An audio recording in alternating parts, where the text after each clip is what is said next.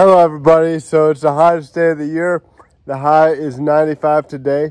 And being in Northeast Ohio, we don't have air conditioning. So it's been pretty hot and I work from home. So all day long, it's uh, sweltering hot. I have a fan set up and I have the windows open. So there's good airflow, but uh, still pretty hot. So I like to come out here during lunch and uh, enjoy the pool. And here's the cat on this hot day. She can't shed a layer and she's got a very thick fur coat.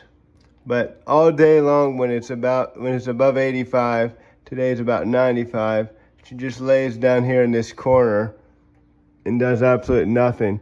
Besides every now and then she'll get up and eat or use the bathroom. If you're smart, you'd go in the basement because it's probably about 20 degrees cooler in the basement.